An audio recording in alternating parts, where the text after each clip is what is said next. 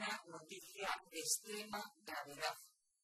Repito, una noticia de extrema gravedad. Y es el anuncio realizado por el ministro de Trabajo de que en el mes de agosto ha subido el paro. Y digo una noticia de extrema gravedad porque el mes de agosto, con carácter general, no siempre, pero con carácter general, suele ser un mes en que debido a las condiciones de la estructura económica de nuestro país y a las contrataciones de verano, hay más personas que nunca trabajando en España. Por lo tanto, un mal comportamiento en el mes de agosto en los datos del desempleo es una muy mala noticia, una noticia muy grave que el Gobierno debería explicar inmediatamente con relación al avance de la información que ya nos ha realizado. Tal y como ha reconocido el propio ministro de Trabajo hace escasamente unas horas, lo único que ofrece a los españoles y en concreto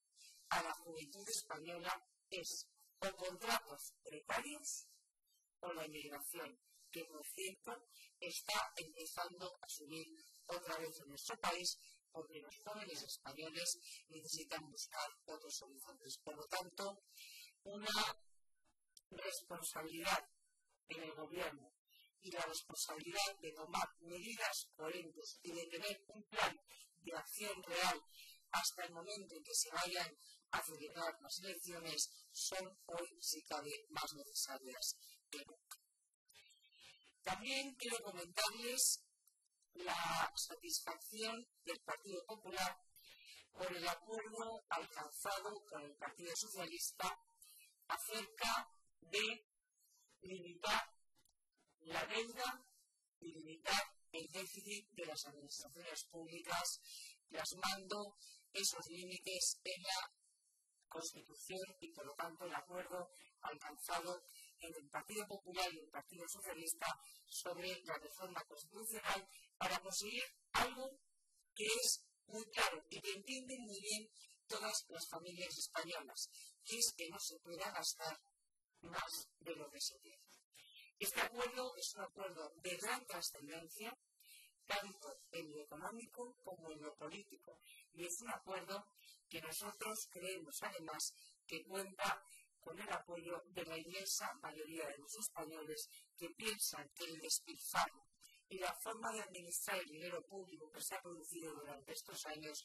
han sido, como son, una de las causas fundamentales de la situación económica en la que hoy se encuentra nuestro país. Que el despilfarro, la falta de responsabilidad a la hora de gobernar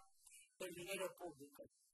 la deuda y el déficit público son grandes causantes de nuestra situación económica actual y, por lo tanto, un gran acuerdo entre el Partido Popular y el Partido Socialista para limitar la posibilidad de deuda y de déficit en la Constitución es un acuerdo de gran trascendencia, no solo económica, también de gran trascendencia política. Es verdad que el 20 de noviembre hay una cita electoral, pero también es verdad que para el 20 de noviembre todavía quedan casi tres meses. Y no se pueden tirar tres meses por la borda. Y tanto el presidente del gobierno como el Partido Socialista no pueden hacer perder a los españoles tres meses. Hay que iniciar el proceso de devolver a España a la senda de la recuperación económica y, por lo tanto, para ese objetivo y para cumplir esa necesidad vital, el Partido Popular va a estar con el gobierno, si quiere hacerlo el gobierno, y en todo caso proponiendo a los españoles sus propuestas y sus soluciones. Por último, sí quiero decirles que el Partido Popular, como siempre ha reiterado, considera que el gobierno tiene ante esta próxima cita electoral de hacer todo lo que esté en su mano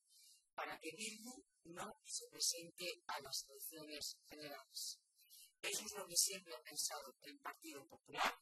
Lo pensamos ya con relación a las elecciones municipales, lamentablemente se presentaron y están ahí,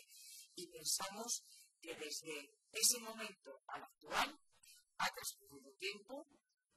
y el gobierno debe volver a plantear esta cuestión y debe hacer todo lo que esté en su mano.